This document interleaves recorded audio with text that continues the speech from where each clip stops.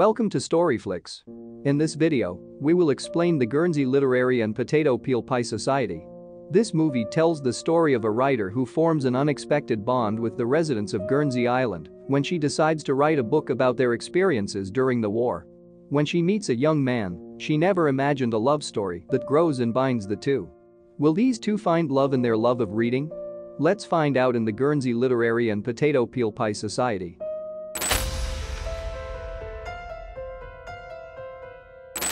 The Guernsey Literary and Potato Peel Pie Society is set in 1941 in the Guernsey Islands in England, where at the time, Guernsey was under German military rule. One night, four friends were passing through the wilderness. But later, they were stopped by the German soldiers for violating the curfew during the German occupation. To avoid capture, one of them told the German soldiers that they had just returned from their book club meeting called the Guernsey Literary and Potato Peel Pie Society. At first the soldiers did not believe what the four comrades said and were about to arrest them. But after they explained the truth and showed some evidence, the German soldiers finally allowed the four friends to go home and return to their respective homes. Five years later, in January 1946, a writer named Juliet Ashton was promoting her latest book, written under her pen name, Izzy Bickerstaff. Juliet has just been contracted through her publisher and also her best friend, Sydney Stark, to write a story for the Times literary supplement about the benefits of literature. After the promotional event, Juliet was then invited by Sydney to go to the new apartment he had prepared for Juliet. Even though the new apartment was much nicer and more luxurious than the apartment she was in now, for some reason Juliet was reminded of the painful memories of the war that took the lives of her parents. Juliet decides to stay in her old apartment and thanks Sydney for being so considerate of her. One night, after returning from a date with her boyfriend, Juliet receives a letter from Dawsey Adams, a man who lives in the Guernsey Islands. Adams turned out to be a fan of Juliet's works and had a copy of her essays of Elia Charles Lamb and wanted to know where he could find a bookstore in England to buy another book by the same author. Adams also told Juliet that he was part of the Guernsey Literary and Potato Peel Pie Society, a book club that met every Friday night and was originally created to trick German soldiers. Currently, the German army has left the Guernsey Islands, but the book club is still there because reading books has become a habit for them, and Adams intends to add to his collection of books for reading material. After reading Adams' letter, Juliet seemed happy because she got information about a book club with a unique name and decided to reply to the letter. Not only that, she sent another book by Charles Lamb and his sister, Mary Lamb, entitled Tales from Shakespeare. In her letter, Juliet asked Adams to tell her more about the book club the Guernsey Literary and Potato Peel Pie Society, how the book club came into existence, and also its unique name choice. As shown at the film's beginning, the name the Guernsey Literary and Potato Peel Pie Society just came up by accident. Adams and his friends initially had small gatherings by exchanging food and talking to each other. But, over time, they often spent time together by reading many books by famous writers and discussing them together. Since then, the book club the Guernsey Literary and Potato Peel Pie Society was formed, where Adams and others are increasingly passionate about reading many books, even with poor lighting and limited reading materials, so that they can see the world from different perspectives and have a different view. Juliet was moved after reading Adams' reply, which told about the book lovers community in the Guernsey Islands.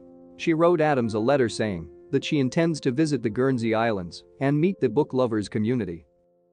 The next day, Juliet goes to Sydney and tells him that she is going away for a week to meet the book-loving community in the Guernsey Islands. Initially Sydney had forbidden Juliet's departure because Juliet was still under contract with the Times literary supplement.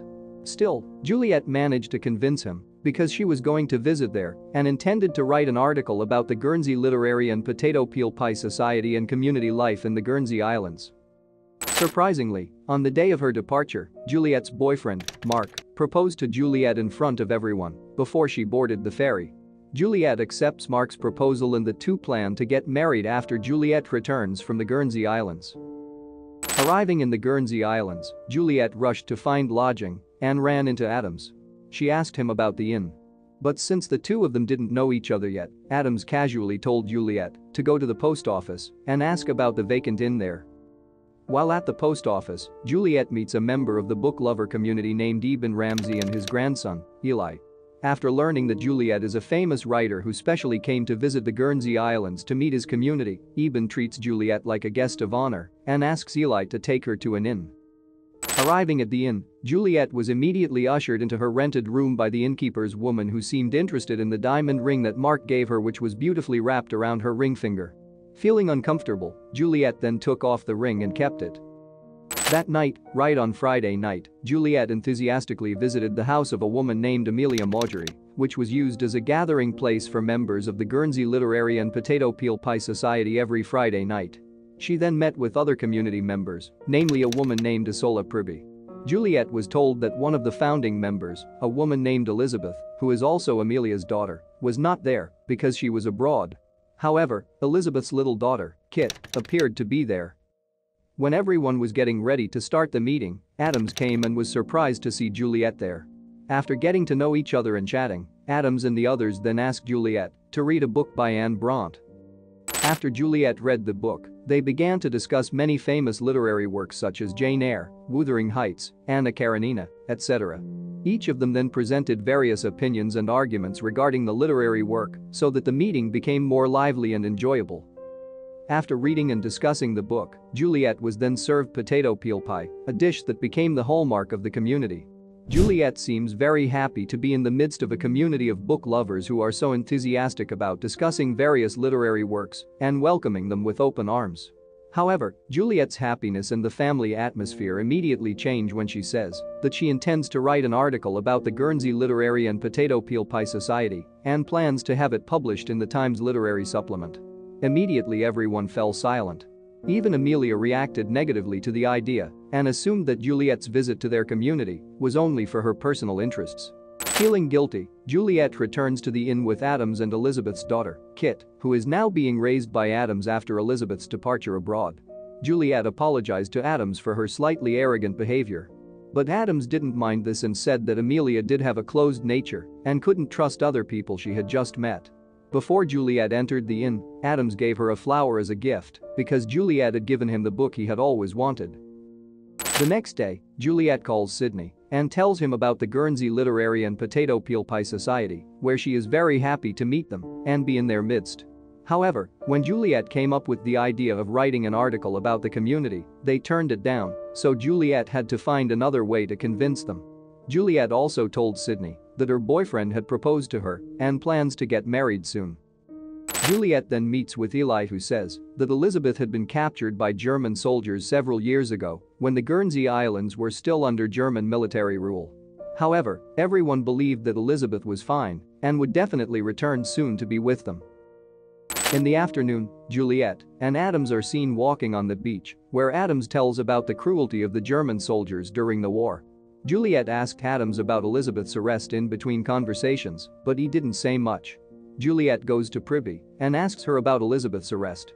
Pribby tells that Elizabeth's sister became the victim of atrocities by the German army during the war. Elizabeth, furious, then cursed at the passing convoy of German soldiers, causing such a commotion that the woman was captured by the Germans. Pribby said that the reason Amelia rejected Juliet's idea to write an article about the Guernsey Literary and Potato Peel Pie Society was because she had lost her two daughters, and if Juliet wrote a story about it, it could bring back painful memories that she has been trying to bury. Knowing this, Juliet then went to Amelia and told the old woman that she would not write an article about the book lover community Instead of returning home as planned, Juliet chooses to stay in the Guernsey Islands to do her research and help Amelia get back together with Elizabeth. After that, Juliet enlists the help of Mark, who is in the armed forces, to try to find Elizabeth who was captured by the German soldiers. Juliet also asked Sydney to give her more time to stay in the Guernsey Islands, so Sydney was forced to cancel several scheduled events. While there, Juliet returned to writing but this time she didn't write articles about the Guernsey Literary and Potato Peel Pie Society as she had previously planned. Juliet decided to write an article about the lives of people in the Guernsey Islands who are still traumatized by the war.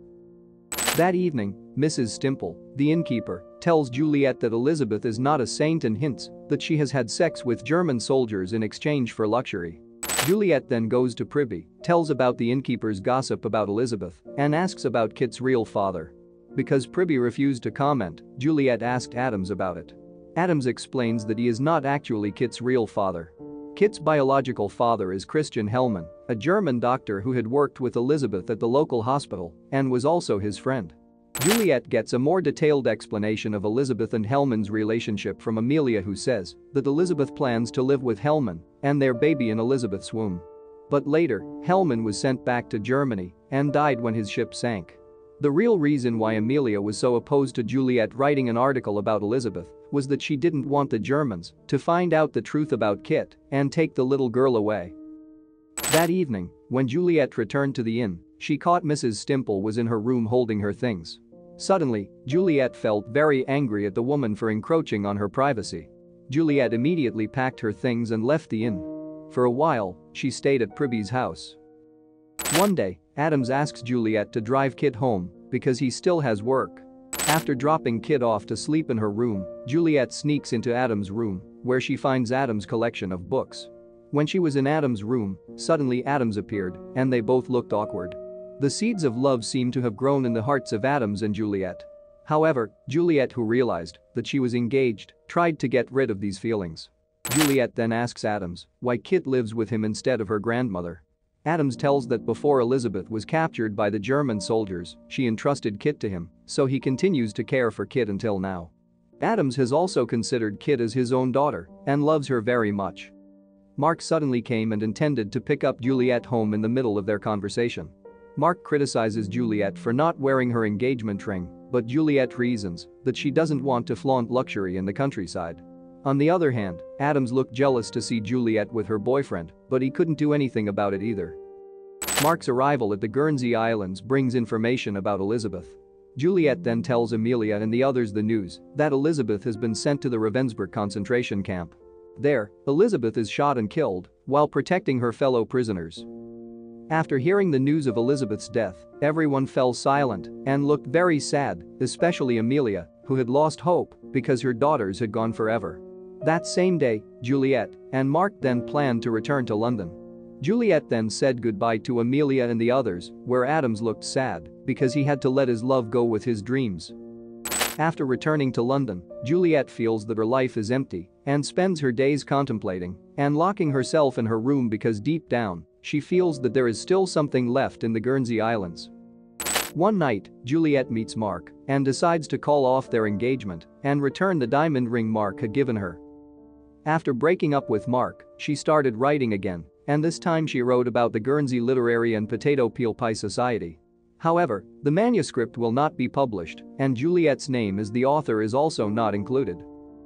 When the manuscript was finished, Juliet gave a copy to Sydney and sent another copy to the Guernsey Literary and Potato Peel Pie Society.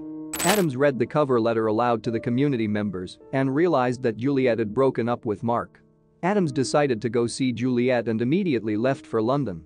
At the same time, Juliet arranges a plan to return to the Guernsey Islands. Juliet was just about to get on the ferry when she saw Adams at the dock and the two of them reunited. Adams was about to ask Juliet to marry him when she interrupted to ask the same thing. Sometime later, Adams is seen reading tales from Shakespeare to Kit with Juliet at her side, with both Adams and Juliet wearing wedding rings. As the credits roll, the society holds other off-screen meetings, including Sydney's, exchanging quotes from the book and discussions, and the film ends. Through this film, we are shown a touching story about love, friendship, and kinship that is formed through the love of reading books. Therefore, be diligent in reading books and meet various book lovers. By reading, we will gain extensive knowledge about many things, but it can also lead us to meet extraordinary people. Through them, we can see everything broadly colorfully. We can also meet many people who have the same interests and types of reading, so that we too can be friends with them, maybe even match one with one of them.